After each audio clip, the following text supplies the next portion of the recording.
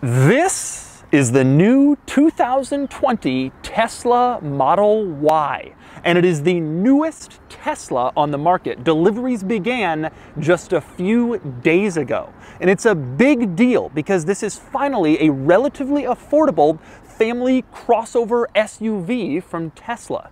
And today, I'm going to review it. I've borrowed this Model Y from a viewer here in the San Diego area who got one of the very first ones built, and in fact, the very first one that was sold new to a customer. And in my mind, it's a really big deal, probably the most important Tesla on sale right now.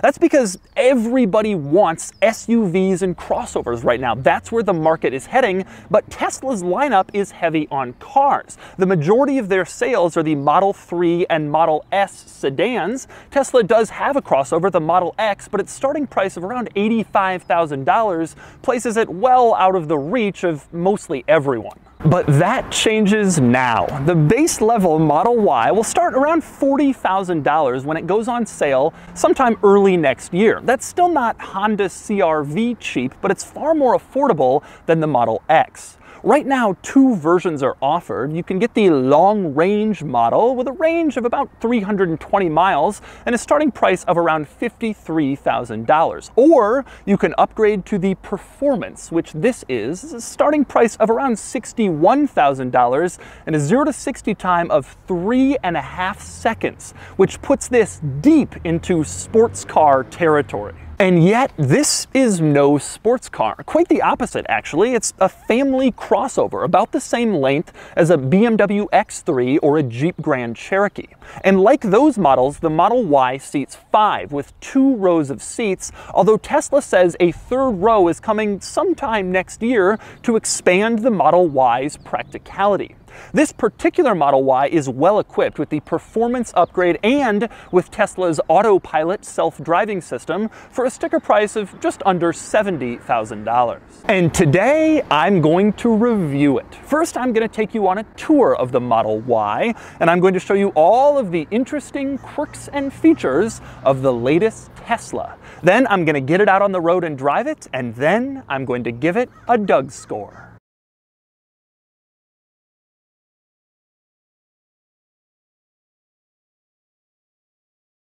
All right, I'm going to start the quirks and features of the Model Y in the most important area, and that would be pointing out the differences between the Model Y and the Model 3. These cars share about 75% of their parts, but there are some key differences that I'll show you, and that means starting in the back seat. Now, the Y is a larger car than the 3, intended for more family use, like a crossover would be. To that end, I'm happy to report that legroom is just fine. I'm 6 foot 3, 6 foot 4 for reference. The driver's seat is positioned where I would sit in it, and I have good legroom and knee room back here. It's not huge or overly abundant, but more than enough for me to sit comfortably, which is nice. More important though is headroom. I was really concerned that headroom would be an issue in this car because of the sloping roof design. You can see it kind of slopes over the back seats, and I thought that would limit rear headroom, but that is not the case. I am sitting back here perfectly upright, and I still have a couple of inches between my head and the roof. Now, part of the reason for that is this panoramic glass roof, which is not as thick as a typical vehicle headliner, which gives you a couple of extra inches of room, just enough for my head to fit in here. But I can confidently say there is ample rear seat room back here, more than the Model 3 for both heads and legs, in the Model Y. Now, I will say there is one drawback to the rear seat, and that is it feels a little bit narrow. If you have two people back here, it's really no problem, but the middle seat is kind of pinched. The seat just seems maybe a little bit narrower than it could be to provide good passenger room for three passengers. Now, there are some drawbacks to the whole Tesla minimalist interior, and they are felt in the back seat. For one thing, you have rear climate control vents, but no climate controls back here. Rear seat passengers can't change their own temperature. You also have heated rear seats back here, which is a nice luxury feature to have, except you can't control them from the back. There are no buttons, there's no screen back here to activate the heated rear seats. Instead, you have to ask the front seat occupants nicely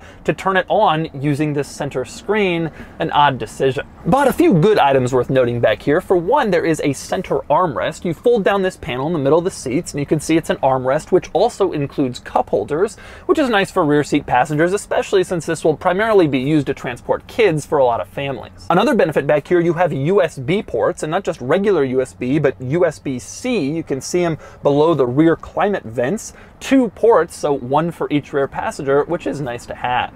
And next up, another notable rear seat item is this latch on the side of the seat next to the headrest. You can use this latch for two different purposes. One is to adjust the backrest to various different positions for more comfort. You can see you can adjust it upright or kind of tilt it back depending on what you're looking for. You can also use this latch to hold it down and put the seat back down in case you want more cargo space. The whole seat back doesn't go down at once. That way you can put a large item in here, but also keep a seat available in case you want to carry more cargo and still have a rear passenger. Of course, you can also fold the entire seat back down if you want. Just go over to the other side. There's a corresponding latch over there. Put it down and then the entire seat back is folded down. And next up, we move on to the cargo area in the Model Y, where there are a couple of interesting items back here, especially compared to the Model 3, which is of course more sedan-like in its cargo area. Now, for one thing, you see it is a large cargo area, totaling 66 cubic feet, Tesla says. That's pretty standard for a vehicle of this size. Earlier, I mentioned the BMW X3 and the Jeep Grand Cherokee being about the same size as the Model Y,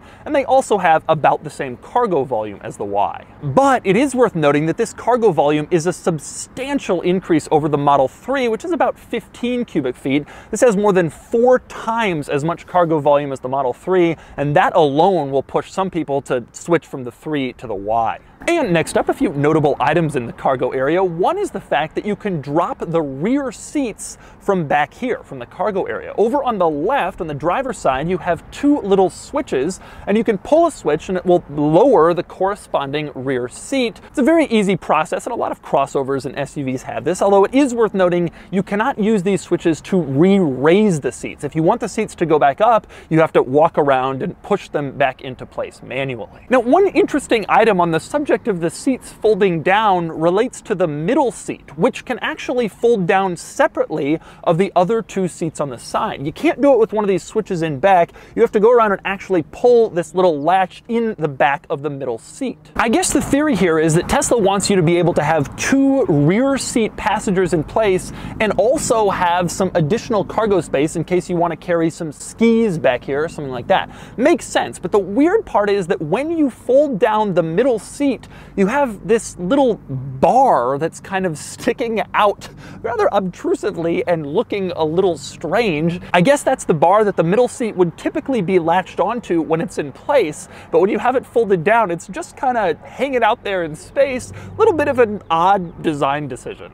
And next up, I want to talk about the cargo area itself because there are a few rather clever tricks around the cargo space. Now, for one thing, you can see in its natural state, you have kind of a flat floor and then little cavities on either side where you can stick stuff if you don't want them rolling around while you drive. That's pretty standard, but check this out. You pull up on this little leather loop and then you can lift up the back half of the cargo floor where you have an under cargo floor for more storage. A lot of cars have this, but this one is surprisingly surprisingly deep. You can get a lot of stuff back there. Again, kind of keeping it out of sight and making sure it won't roll around in the larger cargo area while you drive. But that isn't all the clever cargo storage in here. There's also a second underfloor cargo area directly behind the rear seats. You open this up and you can see there's even more storage under here. Again, to place more items out of the way if you don't want them rolling around or if you don't want them to be seen in the back of your vehicle. Now, one other thing I want to mention, like I said, this Model Y has two rows of seats, but a third row is supposedly going to be available sometime in the next year or so. You might be wondering, how do you get a third row back here? My guess is that the third row is going to be rear facing, so looking backwards, which is a solution that Tesla has used in the past. And I say that because the rear design is just so steeply raked, you couldn't really fit a third row forward facing and get the headrests and seats in place. This vehicle is just too small and it comes comes down too low back here. And by the way, one other item worth noting in the cargo area, there is no cargo cover, which is unusual for crossovers or basically anything with a tailgate, so you can't cover the stuff that you have back here. Although I will say that with the factory provided tint, it's really hard to see in, so it's kind of hard to tell what you have in there anyway. You have pretty good privacy even without having a cover. And next up we move on to the rest of the Model Y. First I want to cover a few more differences between the Y and the 3.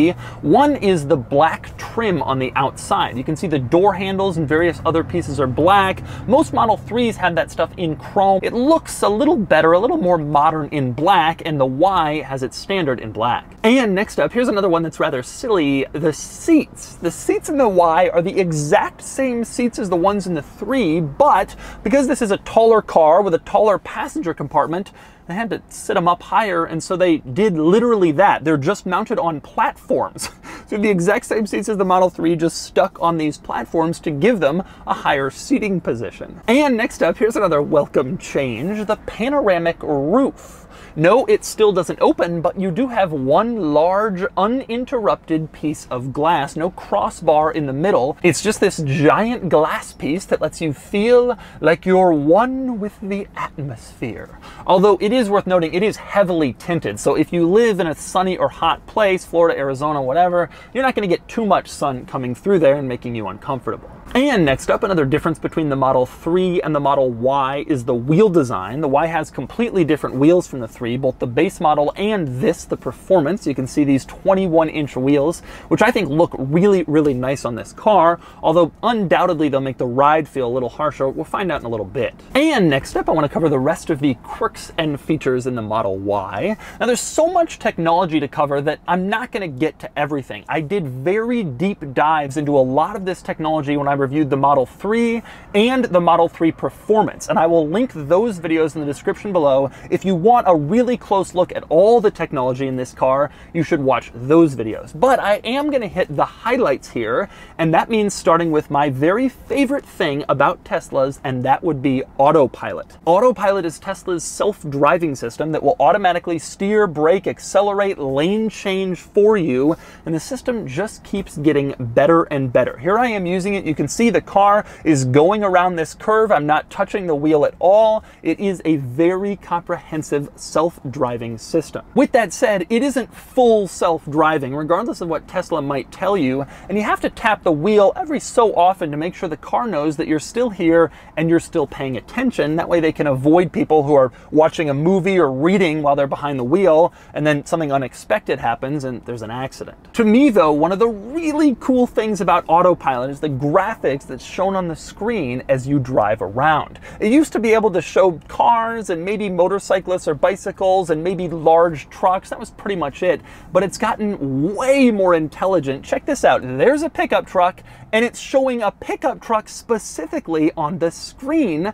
That's pretty cool. And check this out. Here's a van and it's showing a van specifically on the screen. It's smart. And it's smarter even than that. Look at this. I'm sitting in a stoplight with a red turn arrow and green traffic lights, and you can see the screen actually notices the red turn arrow and the green traffic lights. And it also can see the arrow painted on the ground, noting that I am in a left turn lane. That is a pretty cool trick. And the reason this system now recognizes traffic lights is that Tesla reportedly plans to roll out a version of autopilot that won't just slow down when the car in front of you slows down, but will actually stop when it senses traffic lights. And in my opinion, using this and seeing this screen, it does a really good job of noticing every traffic light and what color all the lights are it's really impressive and it'll be interesting to see if they can successfully implement that. And next up, I do want to go over two of my very favorite tech features in this car, even though I covered them before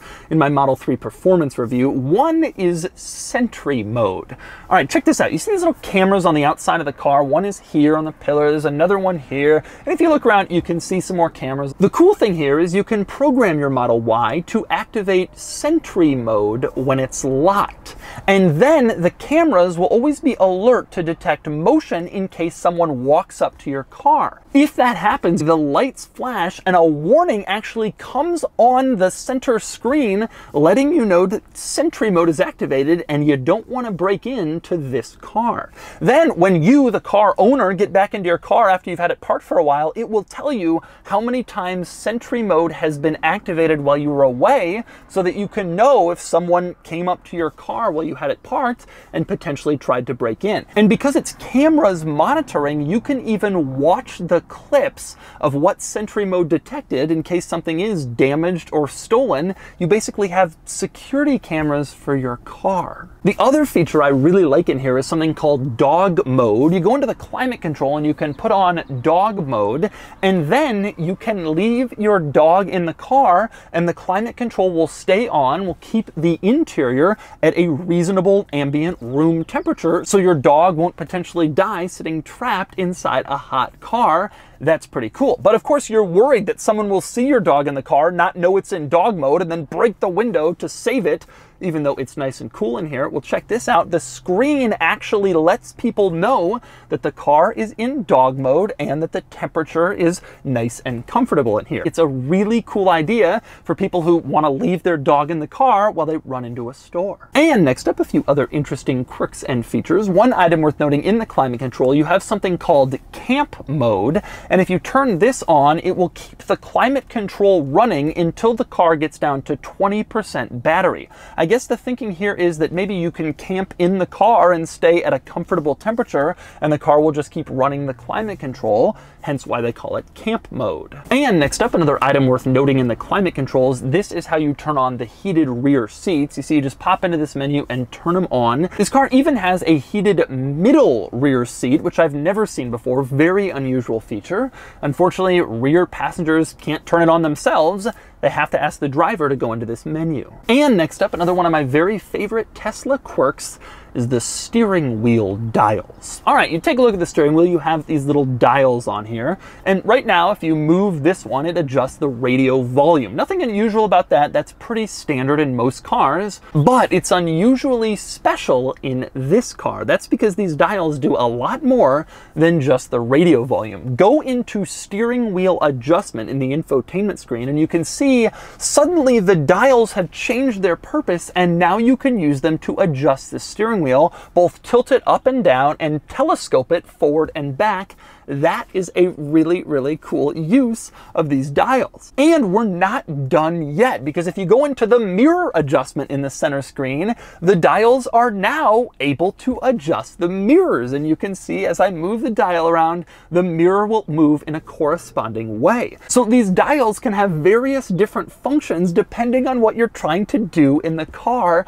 And that is just a really, really cool idea. And next up, moving through some of the other noteworthy items in the giant giant Tesla center screen. One is with the door locks. You can see here that you can configure the locks to automatically lock when you walk away from this car. Modern Tesla models don't have a traditional key like most cars. Instead, most key functions are done from an app on your phone. So you don't exactly walk away and press the lock button on your key fob. And so it's helpful to be able to configure it to lock automatically as you walk away. It is worth noting, however, that if you're letting someone borrow your Tesla, you don't also need to let them borrow your phone in order to gain access. Instead, you just give them this card. This little card will fit in your wallet. You can carry it around, and when you want to unlock the Tesla, just hold it up to this little point on the B pillar, and the doors unlock. From there, if you want to start the car, you have to hold the key kind of near the cup holders in the center console, and the car will start and allow you to drive it away. So that's what you give to friends or other family members if they want to borrow borrow your Model Y. And next up, a few other interesting items in this screen. One, I love the modes for acceleration. You have either sport or chill going with the modern lingo there. And next up, another notable item in here, you can choose to configure what happens when you stop, like at a traffic light. You can either have the car remain stationary or creep forward and you can adjust that setting in here depending on which one you'd prefer. And next up, another item worth mentioning, there are settings for Sentry Mode, including the fact that you can have Sentry Mode turn off when you have the car at home or at work. This makes sense because if you have the car parked at home in your garage or driveway and you're constantly walking around it, the Sentry Mode is going to activate all the time. You don't necessarily want that, so it's nice to see you can disable it in certain spots. And next up, another cool feature, you have all these cameras in this vehicle like I showed you before, and they are always recording as you're driving along in case there's an incident on the road. And if you want to save a clip, you can program it to do so when you honk the horn. I guess the thinking is if you honk the horn, you're in some trouble on the road or some dangerous situation, and the car will automatically record and save those clips around your horn honk. Pretty cool. And next up, an unusual item in the center screen is something called Joe mode. You want to know what that is? It explains that it will alert the driver when necessary, but keep alerts to the rear passengers at a minimum so it won't distract them or maybe wake them up when you're driving. And it gives the example of rear passengers like Joe's kids. Who exactly is Joe?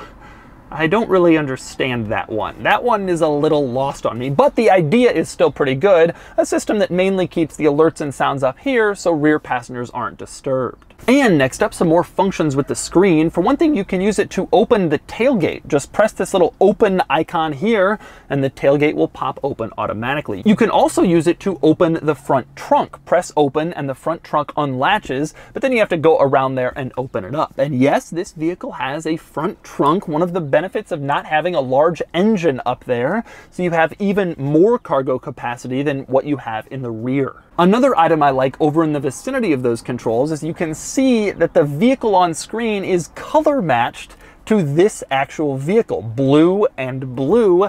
That is really cool. The car it shows on the screen is actually your car, which is a neat little touch. I also like how responsive that screen is to your actual brake light and turn signal usage. Check this out. I'm on the brakes and you can see the brake lights light up on the screen, not just in back. And I put on the turn signal, same deal. The turn signal now lights up on the screen to let me know that it's lit up both on my virtual car and my actual car. And one more interesting item, you use this screen to open the glove box. You can see there's a little glove box icon. You push that and that's how the glove box opens up little bit more complicated than your standard glove box opening. Now, speaking of interior storage in this car, there's quite a bit in addition to the glove box. For one thing, you have this center console between the seats. You can open that up and there's like a little top shelf or you can pull that out and have a larger, deeper center console storage area. You also have two center storage areas further forward next to the cup holders. The one on top actually contains the wireless charging system, so you can put your phone in there and it will wirelessly charge as you drive. The other one is just a traditional storage area where you can stick more stuff if you don't want it rolling around while you drive. Now, the most interesting thing about these little storage areas is that their lids are magnetic. So you don't kind of latch it down. Instead, you just put it near where it's supposed to go and a magnet does the rest. The funny thing is, if you become too animated and try to slam this lid closed, the car will actually display a warning message on the center screen telling you to be more gentle. I've never seen this before. A warning message telling you to calm down with your center console lid slamming. Kind of funny. And next up, I want to talk about the interior in general, very similar to the Model 3. But if you haven't been around a Model 3, expect minimalism. You don't have all sorts of consoles and buttons and designs. It's a very simple, very basic looking minimalist interior in here. Some people will really like it, some people really don't. Personally, I like the minimalist interior. It looks modern and fresh and futuristic, and I think it very much goes along with Tesla's kind of design ethos in here, although I do still wish for a heads up display right in front of the steering wheel to give you your most important things, what gear you're in, what speed you're going, whether your turn signals and wipers are on, just a tiny little display or a projection onto the windshield like so many other cars. Instead, you have to look at the top left corner of the screen and it's out of your line of sight and just a little too far away to be completely convenient. They can solve this problem so easily. And next up, a couple of other items worth noting in here. For one, the doors unlatch electronically, so there's no traditional mechanical latch you pull. Instead, you push this button and that will electronically unpop the door and then you can push it open from there. But just in case the battery dies while you're inside the car and then you can't pop open the doors anymore, there is a manual door release. You can see it here. You just pull on it and the door will open with its traditional mechanical latch. Although when you do that, a warning pops up on the screen and lets you know that opening the door manually may damage your door trim, so it's not something you want to do very often. And finally, our last interesting interior item in here is the sun visors which are magnetic. Now, I've always known that the visor mirror cover is magnetic, and it operates in this kind of trick function that lets you open the visor mirror while not having the cover kind of hang down too low. It's a clever little thing. But in this car, the visor itself is not clipped on with a clip, but rather with a magnet. You can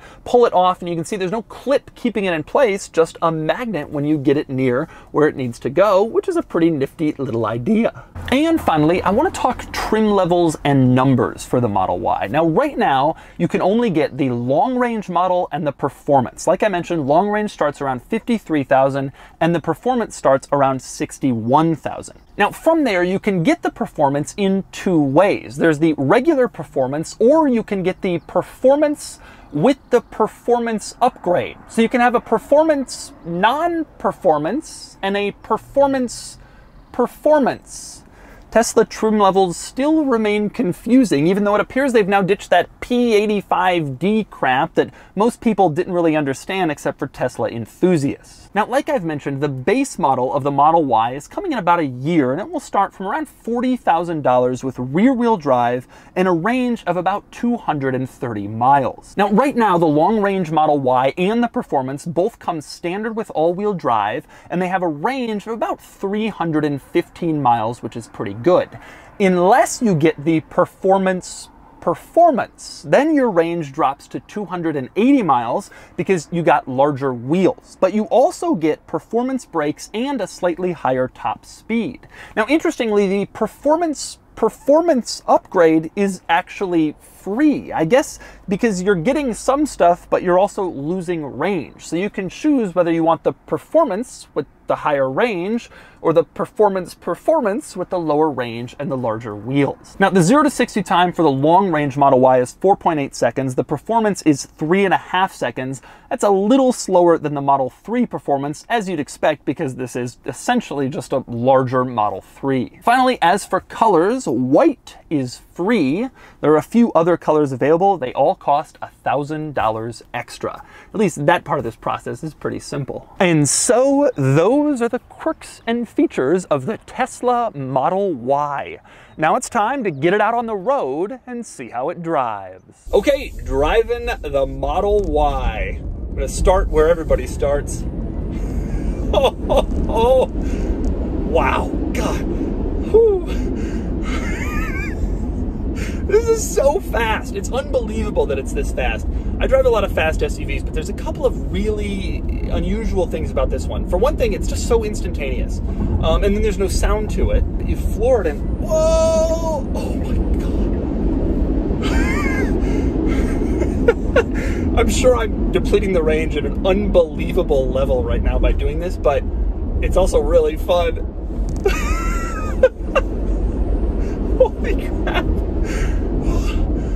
Wow, that is wild. Obviously, this is a little bit slower than the Model 3 Performance, but in my mind, it's a trade-off worth making because you get additional cargo space, vastly additional, four times more, and um, you're sitting up a little higher, which some people, oh, everybody wants to sit up. But people do want that and, and so you have that ability. So you have a more practical vehicle here. Now in terms of steering and handling um, you can tell very quickly some interesting things. One is um, the steering is still really quick. That was a thing that I loved about Model 3. There was no on-center laziness. The moment you start turning, it starts turning. Um, some automakers don't make their steering quick enough, in my opinion, from on-center. Even good, established automakers, most of them, in fact. But Tesla has gotten that right.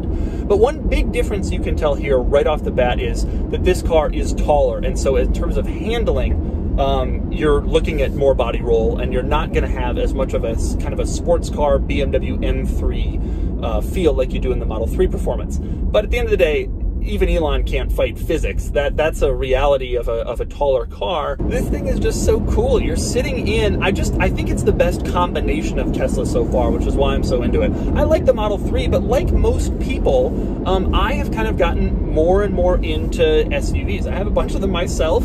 Um, this is where the market is headed. And so this car isn't as splashy as when the Model 3 came out or when the S came out or when the Roadster is going to come out um, in the sense that it doesn't blaze a totally uncharted territory. But by entering this new segment, it's a, it's a different world, especially when the third row comes out and people are able to use this as a realistically practical, you know, minivan replacement, Toyota Highlander competitor. That is going to be a big splash. It is reasonably quiet. Um, nothing particularly unusual here. It's similar to other crossovers that are at this price point in terms of road noise and quietness. Maybe even a little bit quieter. You do feel more of the road. Um, undoubtedly, you feel more of the road than in a lot of the competitors, but I think that's because this has the 21 inch wheels, um, and the larger wheels are just always going to have that effect. You have less tire sidewall. This, the, being the performance model, suspension is upgraded for a sportier driving feel. At the end of the day, it's just going to be a little bit harsher. Of course, very quiet otherwise. Obviously, with no gasoline engine, you don't hear any engine noise. Um, one thing I am surprised about is a lack of wind noise. Um, you know, Tesla, it's always a bit of a question because build quality is never as quite as consistent as with um, other large scale automakers. And so you get in one, you're like, well, is you gonna, you know, is something gonna be off a little and you're able to hear the wind? No, um, actually, it feels really, really quiet in terms of wind noise. Better than in some recent, in the recent, the Ford Explorer I was recently in. All right, highway on ramp here. It's time for some fun.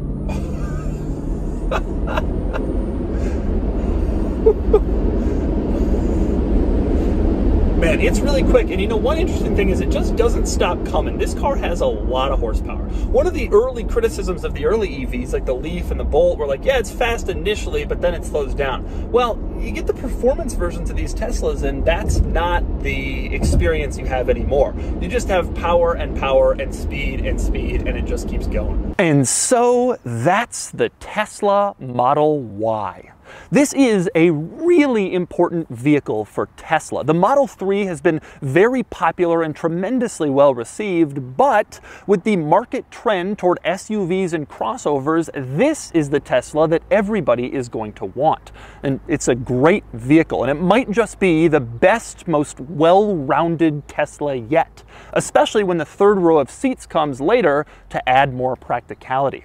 Anyway, with all that in mind, now it's time to give the Model Y a Doug score. And the Doug score is 68 out of 100, which is a huge score, truly an excellent showing. That places the Model Y here among other Tesla models and other luxury SUVs around the same size. The Model Y beats them all, and it's obvious why. It's more practical than the Model 3, it's faster than a BMW X3M competition, and it's got better tech than basically anything. The lowest score comes in styling, where the Model Y gets a 5 out of 10. It certainly isn't beautiful, though I personally don't consider it ugly. Otherwise, this is a great all-around vehicle, and I think it's more well-rounded than a Model 3, and a better buy than the Model X. The Model X costs more money, it's no faster, and it has those stupid doors that are so showy and ostentatious and attention-seeking. I see no real reason now to get a Model X except for the third row, and even then the Model Y will add that soon, which will probably make the Y the best all-around Tesla in existence.